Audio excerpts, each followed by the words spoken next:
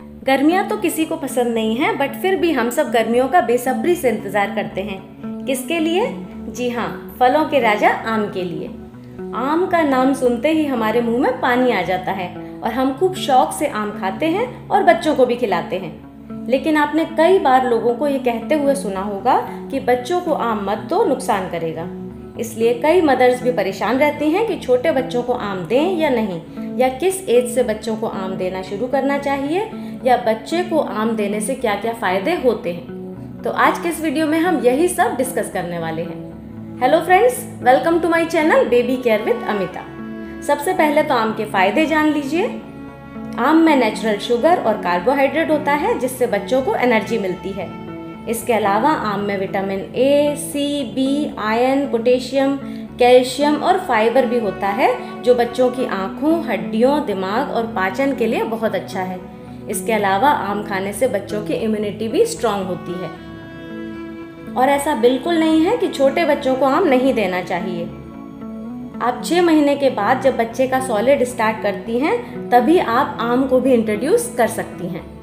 लेकिन हाँ आपको कुछ ज़रूरी बातों का ध्यान रखना है। सबसे पहली बात, आप जब भी आम खरीद कर लाती हैं तो उसे आधे से एक घंटे पानी में भिगोकर ज़रूर रखना है।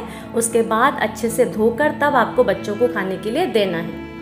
अगर छः सात महीने के बच्चे को आम दे रही हैं तो आम को अच्छे से काट कर छील कर उसकी प्यूरी बनाकर फिर बच्चे को दीजिए।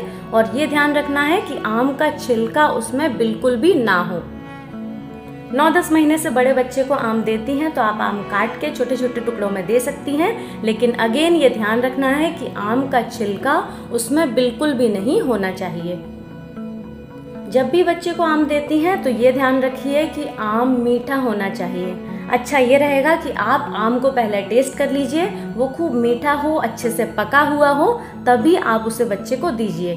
कई बार आम सड़े हुए होते हैं कच्चे होते हैं, खट्टे होते हैं बहुत ज़्यादा तो ऐसे फल बच्चे को बिल्कुल भी नहीं देना है। बच्चों को बहुत ज़्यादा आम खाने के लिए नहीं देना है तो इसके लिए आप क्या कर सकते हैं थोड़ा सा आम खिला दीजिए और थोड़ा सा दूसरे फल दे दीजिए। बहुत सारा आम खाने से बच्चे को लूज मोशन हो सकते हैं।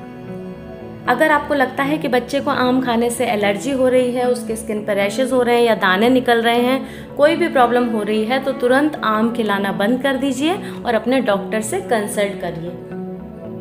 इन सारी छोटी छोटी बातों का ध्यान रख के आप आराम से बच्चे को आम खाने के लिए दे सकती हैं। तो आप भी आम खाइए, बच्चों को भी खिलाइए और इन्जॉय करिए summer season thanks for watching